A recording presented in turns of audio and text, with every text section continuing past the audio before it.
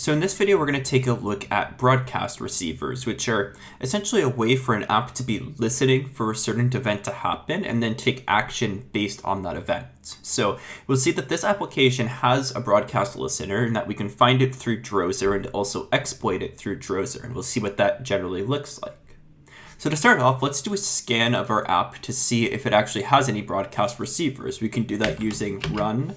Uh, let me just zoom this in a little bit run app.broadcast.info, and then we put hyphen A, and then we put the name of the app that we're trying to scan, which would be com.android.insecure bank v2.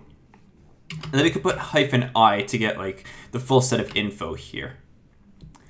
So this info basically tells us that there does exist a broadcast receiver. It's called my broadcast receiver.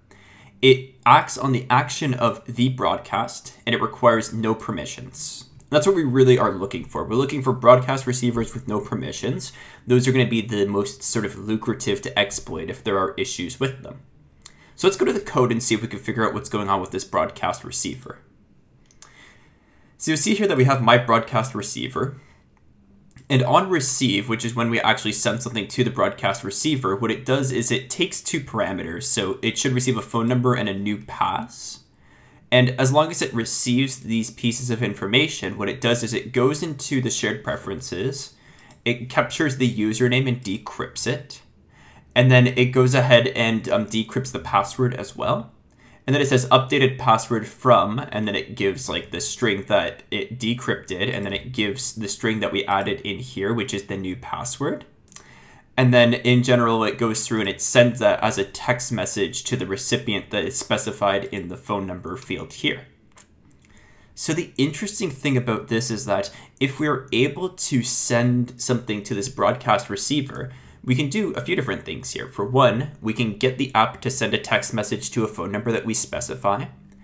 And for two, we can potentially, you know, set that phone number to our target user and set the new password to try to trick the user into thinking that their password has been reset and then maybe utilize that for like phishing or something like that.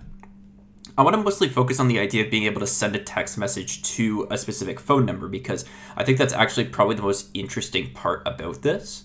And the reason being is because Consider a situation where you have a premium phone line where if you send text messages to it, you're charged money. If we can get this broadcast receiver to send text messages, then we would be able to send text messages to our premium line and potentially make money off of, you know, somebody sending text messages through this vulnerable broadcast receiver. So it's a way of being able to exploit that sort of idea. So this could be fairly substantial if it actually does work. So how do we actually get this to run? Well, we could come back to Drozer and we can say run app.broadcast.send. And then we're going to give it an action. And like I said, the action here is the broadcast, which we can see right here. The broadcast. And then we have to put on an extra. So you can see here that it's expecting two extras, right? One is a string and the second one is also a string. So it's expecting two strings. So we say extra string and then we take a look at what name it's expecting. So for the first one, it's expecting phone number, and the second one is new pass. So the first one is phone number, and then we specify what phone number we want. So let me just enter in like, um, you know, 555 4321, right? Just enter in like a fake phone number here. So we're to send a text message to that phone number, and then we're to put another extra string, and we're to say new pass, and then we can put it whatever we want here, like, uh, I don't know, A, B, C, some jumble like this. Now when we send this broadcast, if I go back to my device here, what we'll see is that when we go to into our text messages, we see that this new message was sent.